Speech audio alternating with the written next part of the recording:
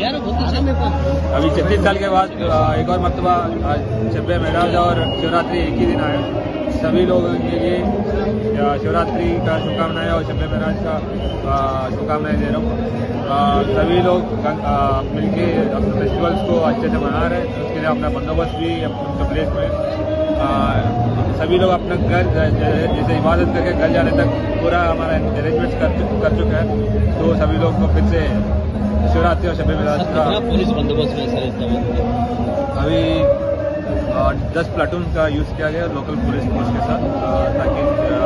traffic को manage किया जाएगा और बाकी जो रोड प्रोसेशन भी प्रोसेशन जितने भी है सभी अच्छे से मैनेज करने के लिए